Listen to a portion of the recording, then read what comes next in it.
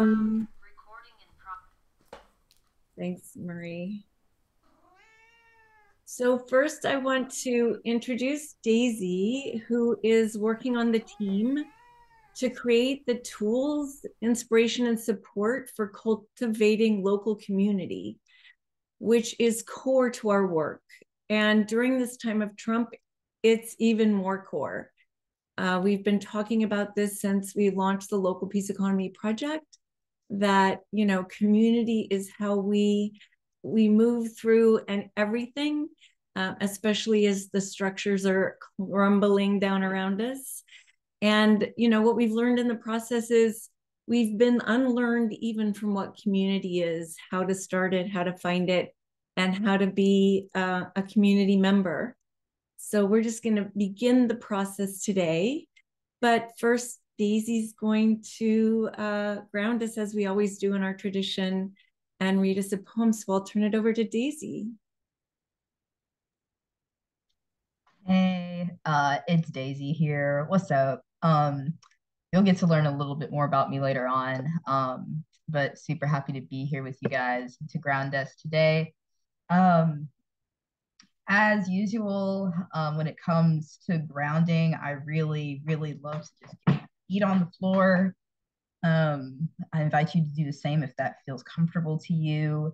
Um, maybe if uh, you are slouching a little bit, maybe get that back straight a little bit, you know. Um, just trying to cultivate a little bit of presence here um, as we move into some of today's content, and especially this poem, um, which I think really resonates with what we're going to be talking about around building community and what it means to be in community and find community. Um, and so uh, this is a beautiful poem called Perhaps the World Ends Here um, by Joy Harjo. Um, if you're familiar, there you go. Um, the world begins at a kitchen table. No matter what, we must eat to live. The gifts of earth are brought and prepared, set on the table. So it has been since creation, and it will go on. We chase chickens or dogs away from it, babies' teeth at the corners. They scrape their knees under it. It is here that children are given instructions on what it means to be human. We make men at it, we make women. At this table, we gossip, recall enemies and the ghosts of lovers. Our dreams drink coffee with us as they put their arms around our children. They laugh with us at our poor falling down selves, and we put ourselves back together once again at the table. This table has been a house in the rain, an umbrella in the sun. Wars have begun and ended at this table. It is a place to hide in the shadow of terror, a place to celebrate the terrible victory. We have given birth on this table and have prepared our parents for burial here. At this table, we sing with joy, with sorrow. We pray of suffering and remorse. We give thanks. Perhaps the world will end at the kitchen table while we are laughing and crying, eating of the last sweet bite. Yum. Thank you, Daisy, and thank you for so beautifully offering it to us. Um, you know, just a reminder that we are in community right now. This is this is a community that we've been building for the last few months. And in the way we start is also a tool for your own community because grounding and bringing in a piece of culture um, and today we had two you know the harp music and um, and the poem. So this is part of the practice of moving us from distraction to awareness. And that, you know, whenever we can engage in the practices of pivots and also be aware of them, and when we're sharing them and helping to create that container of peace, um, that's one of the first things that we bring to community.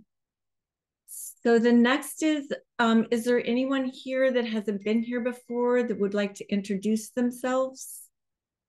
Uh, if you could raise your hand. Oh, Wanda, thank you.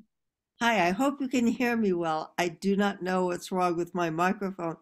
Um, yes, I'm Wanda Guthrie, and I'm from uh, Pittsburgh, Pennsylvania. And uh, I've been so inspired by the workbook. And um, I'm part of a Friends Peace team. Um, and we're looking at the workbook and also in our Friends meeting. Um, and so I'm just happy to be here with you. Thank you. Thank you so much, Wanda, for joining us and be, for working in the workbook. So happy to have you here, and we could hear you very well. So just letting you know, you your mic works great. Anyone else? Um, uh, Valerie, thank you. Yes, Valerie. so this is my first meeting with you all for the community and peace work. I've attended some of the other activist meetings, and um, I was I was just mentioning earlier to Mary that I'm so grateful that you guys are here, and that there is positive action we can be taking that moves us closer to this vision of peace. Thank you. Thanks for joining, and thanks for the beauty that you brought. Um, is there anything you want to say about what you were playing? Because I, I we, you kind of told some of us, but you know, just so that we can be in relationship to the music and and your intention with it. That would be lovely. Um so i know people were coming in at different times. And so um what i was playing was a selection of mostly really old music and then a little bit of bits and pieces of contemporary music. And the old pieces came from uh, actually the last one was called Gröna Lunden. It's a Swedish folk song and uh, then I started with some very old songs as well from Galicia, which was its own kingdom and is now part of Spain in the north of Spain. Um, some of my Celtic ancestors came from there. There's Bronze Age Celtic villages up there. And the music I was playing was collected about 800 years ago, but is probably much older.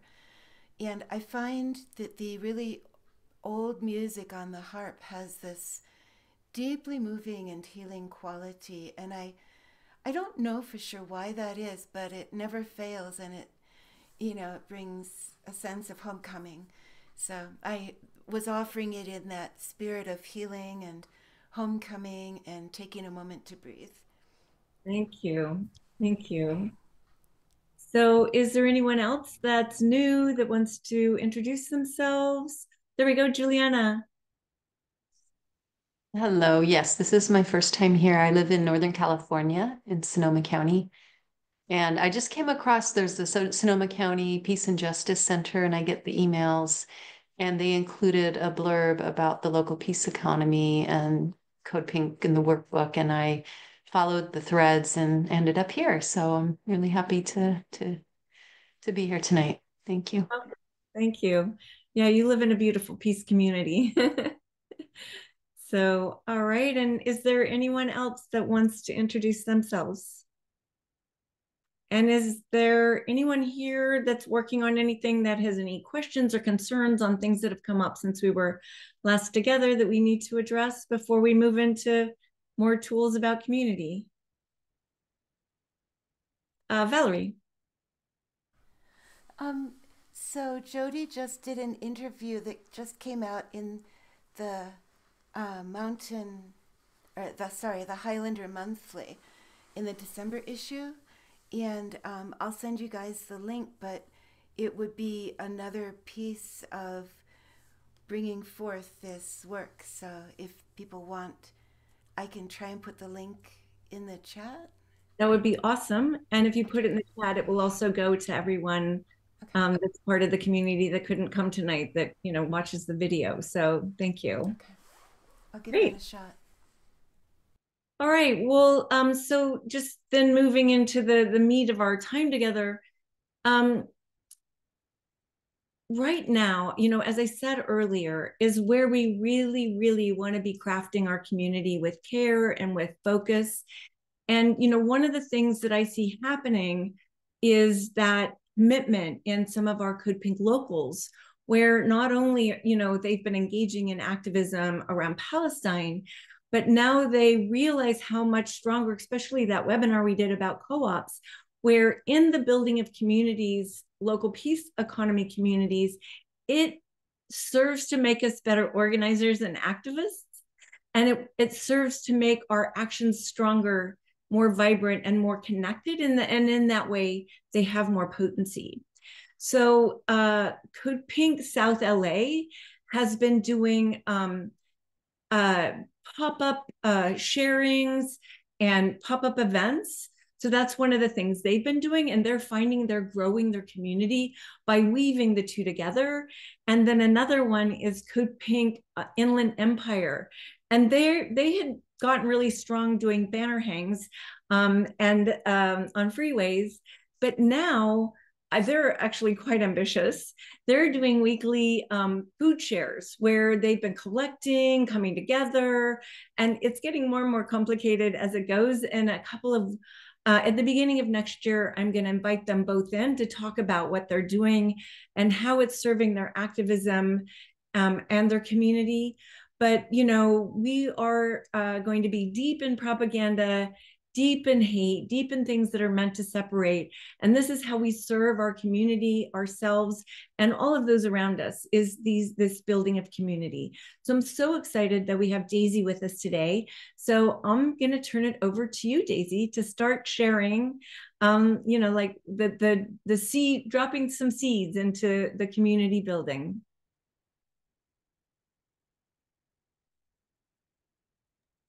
Yes, thank you, Jody. Um, really resonating with what you were um, saying there. Um, going ahead and sharing my screen. Maybe give me a thumbs up, y'all, if you can see my screen here all right.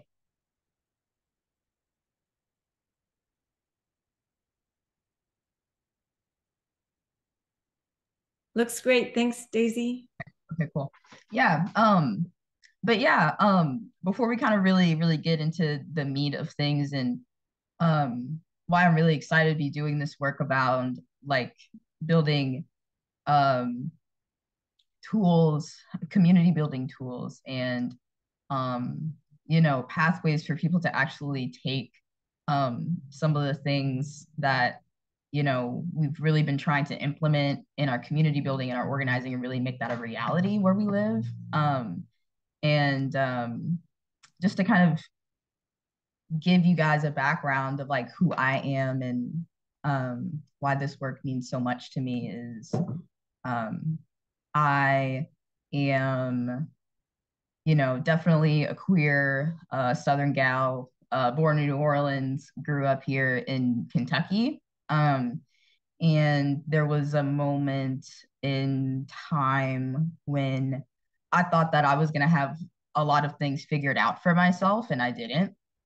And I was, you know, dro- dropping out of college and didn't really have any sense of direction and getting really radicalized by things, but not really having a place or anybody that I could really share that with. And it was turning into less of it turning into action and more of it turning into anger and like resentment um, for people in my community, people that I didn't know um, and people that I I hope then later on started to build with. But um, it took a really um, deep, transformative, like dark place for me to figure out that in order for me to address the things that I was seeing happening in my community around police violence, um, I currently live in Louisville now, where Breonna Taylor was murdered um, you know, my my you know my safety and trying to figure out ways that I can actually do that, but do that in a way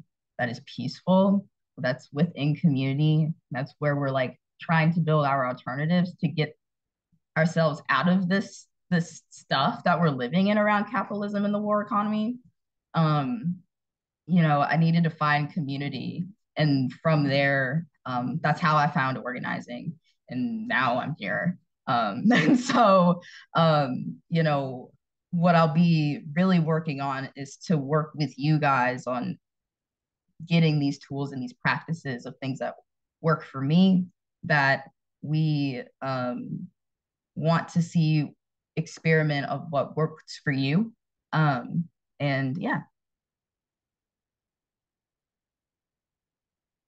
we are going to be moving through a couple of a lot of different actually a lot of different building blocks around building community um, and cultivating community and finding community because that is the first step before we could even deepen our organizing and, and deepen our commitments to one another just something that jody's going to talk about. Um, but um, you know uh, there's there's certain things that we may want to start off to consider. Um, you know if we are considering you know cultivating our own community enriching or strengthening the communities that we're already a part of um you know or just scratching it off and like building something new um out of nowhere you know something something fresh that's gonna like feed you and your community's needs. Um and something that i really want to talk with, with you guys today is about self communal and historical awareness um and if you have your workbook um this is definitely around that concept around self-directed to community engaged you know? Um, there is an internal process to building community and it's unfortunate that a lot of us start and stick with the self. Um, i like this sort of like conceptual kind of idea that i was trying to go with um, around how we can start with the self and then we need to broaden our awareness you know, start with our self awareness, but broaden our awareness to our community and actually get clear on, you know, what are the ways that things have been shaped, our current conditions have been shaped by our, our histories and our past and our stories um, in our past lives. Um, how can we bring all that together to build the type of community that we want to be in? And so thinking about a sense of like self-awareness um, and thinking about this concept, you know, we do have to start with ourselves and we need to arrive to ourselves. We need to accept ourselves and we need to root out our privileges and our our needs and our concerns and our cares and our responsibilities. These are things that make us who we are. They're things that carry out biases that we may carry from the war economy. Um, there are fears, you know, um, there's so many different things that if we don't know that, we're not going to be able to communicate that and and have that accepted by other people. And that means that we need to arrive to ourselves wholly and we need to be honest with that. And so a couple of different questions, you know, to help arrive to this sense of self-awareness um when you are cultivating communities and these are things that you know your community should keep you accountable to and things that you always should reconsider and take a step back to reflect you know of like what are your values? You know what is actually important to you? What are your needs? What do you have to offer? We don't want to join communities for like our own self-indulgence so um you know we want to start off of like what do we need and um how can we start to build reciprocity in that? Community awareness you know this kind of goes back to like we don't want to self-indulge in community. Our communities are not there to just fill our needs. Um, we need to be aware of the communities that we're in the ones that we want to build. Um, and you know i feel like a lot of people for example around like the what's happening in palestine you know this is like their first time becoming aware of what is happening within their community.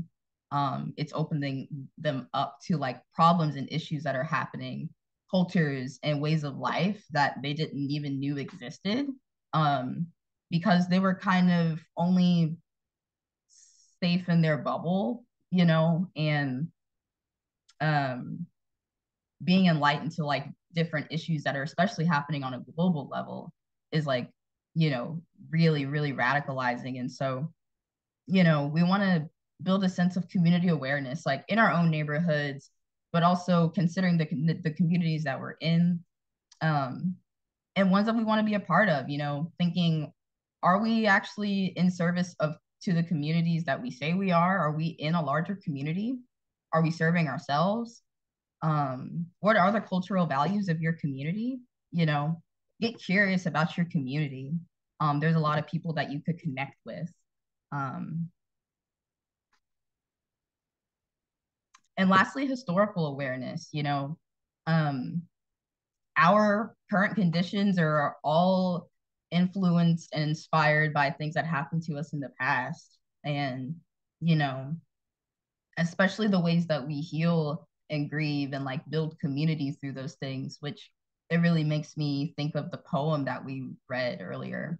Um, you know, how can we turn back to the past um, to to find ways to like reconnect with ourselves, um, learn about other ways that people connect with one another. And so this kind of can look like what are struggles that people move through the past? How did they move through that together as a community? What are cultural practices that you may notice that have been preserved over time in communities? Um, at the bottom there, if you look at the slides, um, I don't know, I'll maybe, hopefully maybe leave this up for a second, but I don't know, just a little mapping exercise, if you will, of if you want to do more of a deep dive, do some historical mapping. Um, we have more of a, a, contemporary local mapping of like peace economy work um, on our website, but you can do a creative historical version of that, if you will, you know. Um, and so looking at history, looking at the ways like, oh, you know, how has this impacted me and my community? And so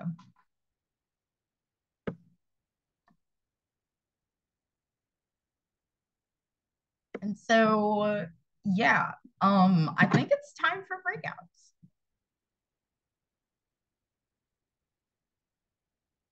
Um, Jody, you're on mute still. Thanks.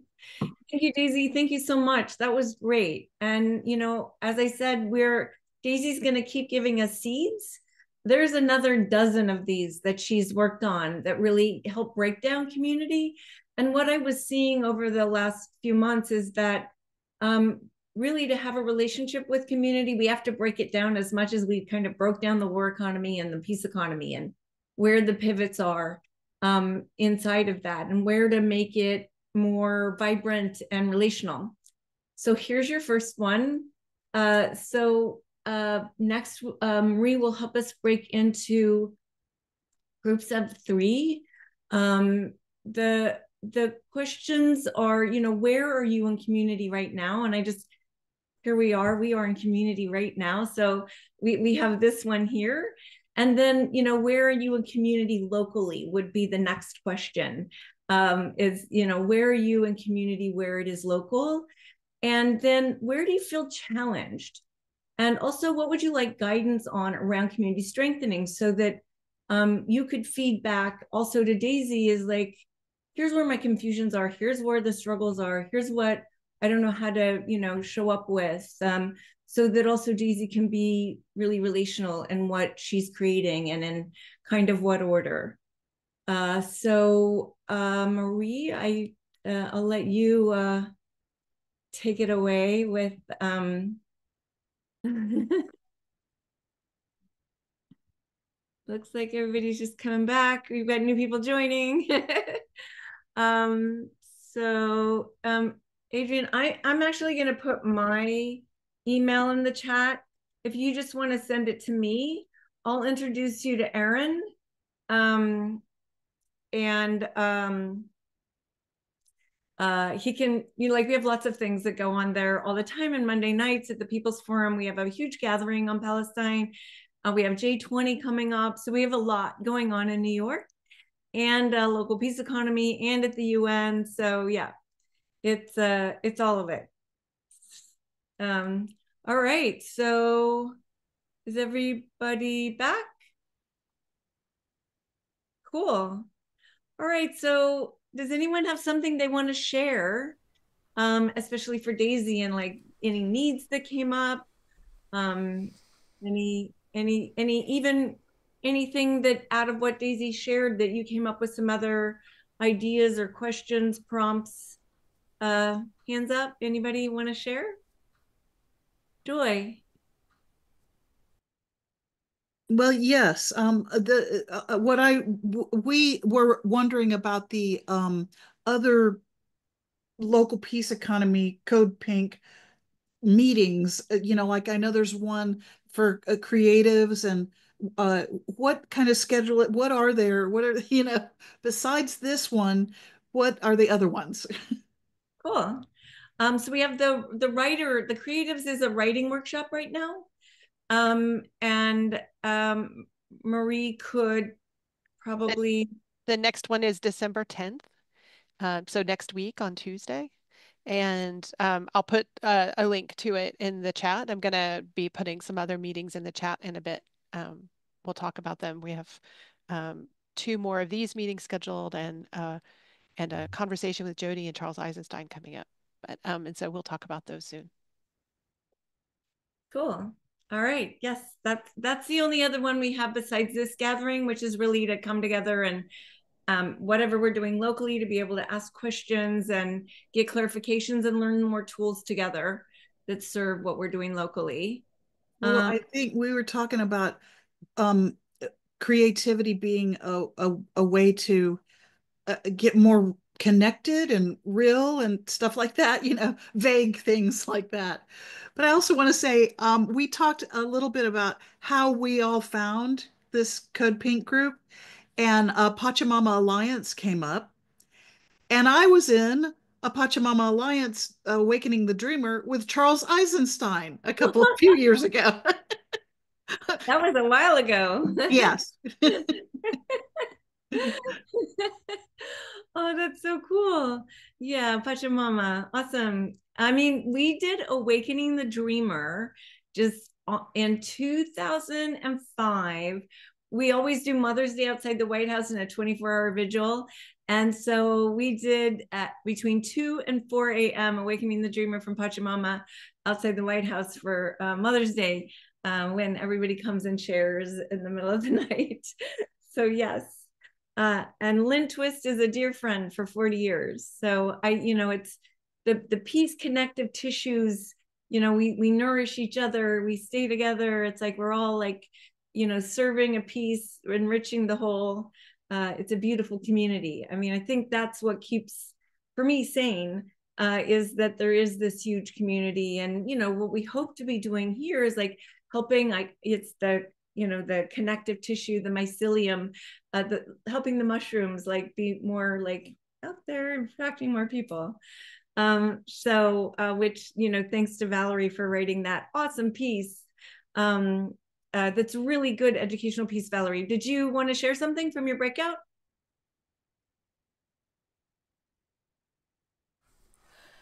I'm so glad you like the piece, Jody. I haven't read it yet. I haven't seen it in print, but I bet, I bet you know, it's in one piece. The editor is usually really respectful of of these articles. Um, God, yeah. No, I was gonna say, so brain dump, four Bs. You guys have all heard of that, right? Four Bs, the four B movement. Um, but I have it. I think everybody probably needs a little uh, a little mini moment. Um, yeah. In in one of the Koreas, either North or South, and I'm apologizing because I don't have the South. South Korea. Okay. So the the young women were pretty upset at how politics were going, much as many young women are here, and older women, and you know many people. And so, in the Korean language, the four B's, there's four different words that start each with a B, and they basically mean things like no dating, no sex, no marriage, no babies. And it's a strike against what they see as overarching, overbearing, dangerous patriarchy. That's been adopted by American women since the election results were first coming out. And, but so that, I get that, I really get that I respect it. Um, but what concerns me is that there are people that are purported to be on the left and they're being very vitriolic and vicious against people who voted for Trump. And I'm hearing a lot of Trump people say, I was sucker punched. I didn't know what this was. I made a mistake. And we shouldn't be attacking these people. We should be like welcoming them in to sit with us and say, how can we strategize so that we can turn all of this around? But I can't no I can't get through to Zionists and I can't get through to rabid lefties either.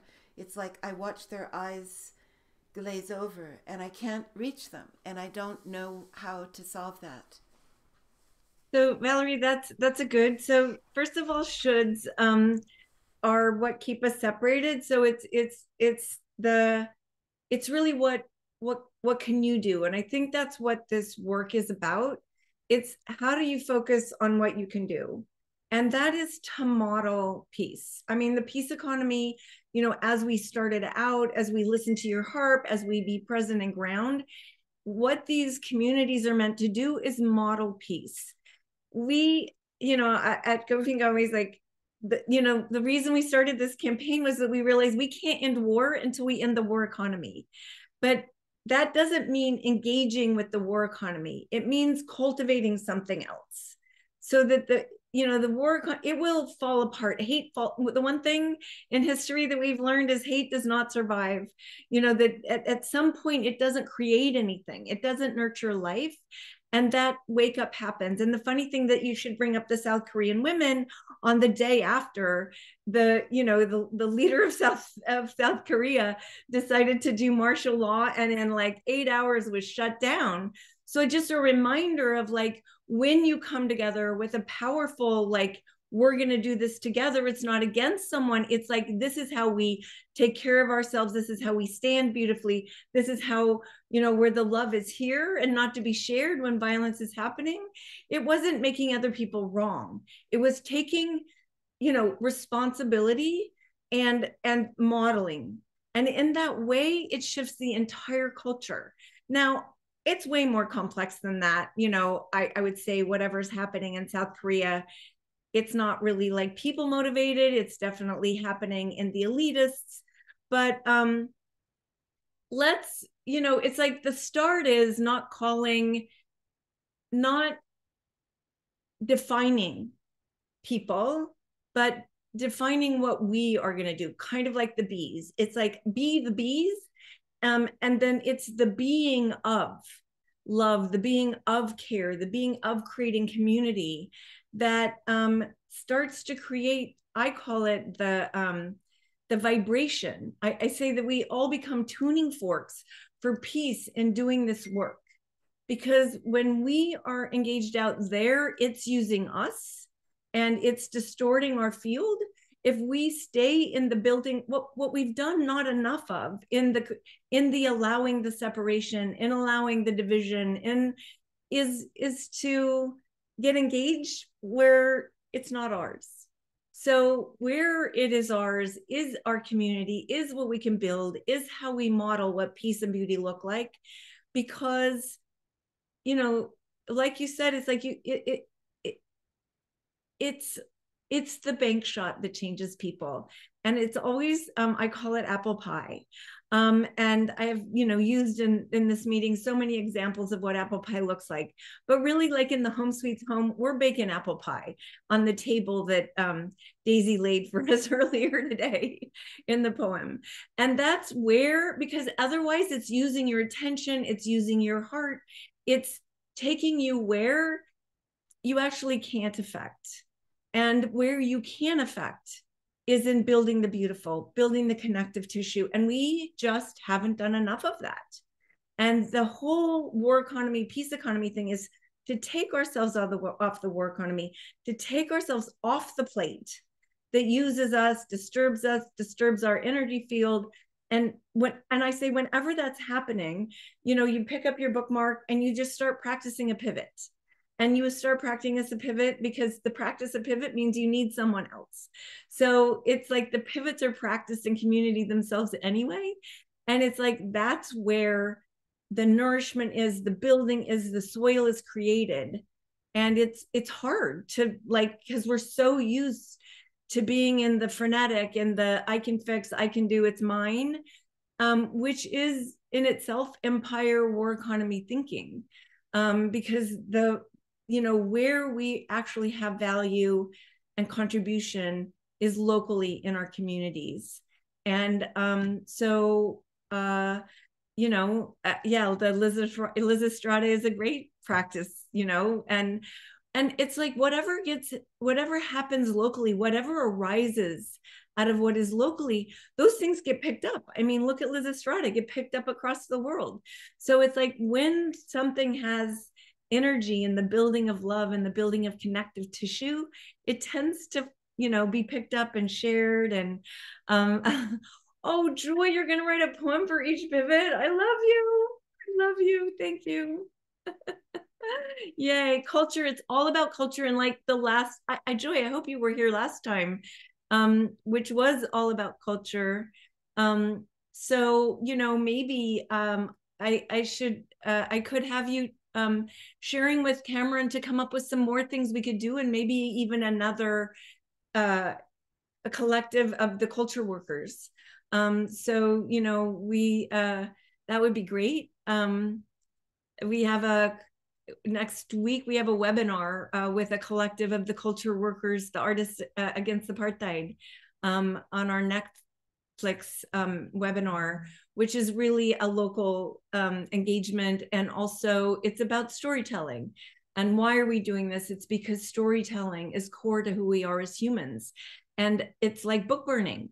When Netflix owns the library of storytelling um, and they won't allow a story it's a book burning and we we need to look at these things for what they are and um, so i'm i'm sorry it, the, this this hour always goes so fast um so yeah well you know next time um, we have a, a really um, beautiful offering that Maria will be hosting about grief because, you know, that's so much of what's happening now with where we are, with what continues to happen.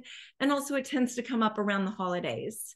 So, I'm going to let Marie tell us what's coming up next. My deepest gratitude for all of you for nurturing peace in all the ways that you do and cultivating your community. And I'll look forward to seeing you in a couple of weeks and off to Marie. Thank you, Jody. Thank you. Hi, everyone. So as we close out, um, I spent my day today putting uh, events up on the website. So these were all on my mind, and I wanted to let you know what's coming up. So the writing workshop, uh, the next one is on December 10th. And that is a people have been gathering for a couple of months. Even people who have not gathered before are welcome to come. And they ask you to bring a poem or a little bit of writing to share with the group. Um, and I haven't yet been able to make one of them, but um, everybody says it's a really beautiful, intimate space. And so I'd welcome, you know, you'd be welcome to come and join, and you can RSVP on the website. Uh, next Friday, um, like we mentioned earlier, Charles Eisenstein and Jody are going to have a conversation on um, unlearning some of the cultural conditioning that is preventing us from being engaged in our communities and uh, preventing us from being engaged uh, uh, even with ourselves. Um, Charles has this statement like, don't should on me. And so it's like really seeing where you have all of this judgment about yourself and the shoulds in your life and trying to uh, do some simple things to unlearn um, that uh, that impulse and habit that we all have. Everybody has it um, because it is directly related to war economy tactics and ideas about how change happens. Um, it's going to be a great conversation, I know. Um, the next local peace economy gathering two weeks from today on December 18th, like um, Jody said, is going to be on grief.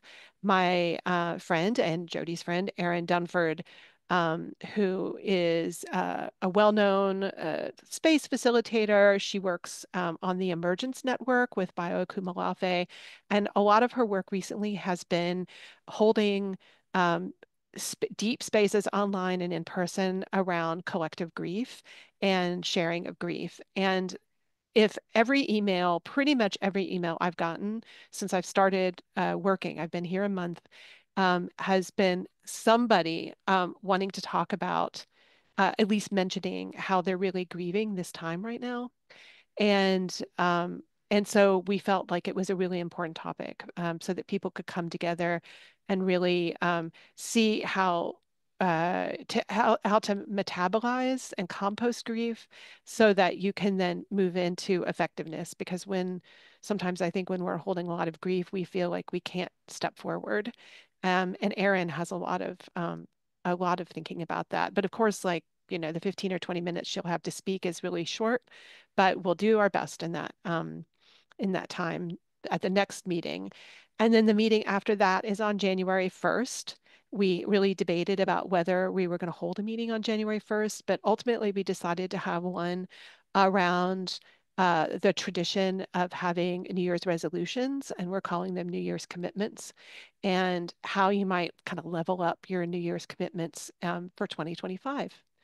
So um, we we hope that you'll join us for one or all of those gatherings and you can I put the links in the chat and you can RSVP to them there and then that way you get the link mailed to you the day of um, of the meeting. We don't share the links publicly until those RSVPs are in. So if you could uh, RSVP, that would be great. So um, I just wanted to thank Valerie again for the harp playing at the beginning. And it, I know it it really brought my nervous system down about four notches. And um, I I want to go and listen to some on on my stereo now. Thank you, Valerie, again for that. It was really beautiful. And um, you know, I've kept you a little bit over time. So I wanted to say thank you and I hope you have a great evening. If you would like links, I have a YouTube channel. That would be great. Will you put it in the chat or email it if to you, me? Uh, if we're going to close out, I'll email you a couple links. Okay, sounds good. good night, everyone. Good night. Thank you.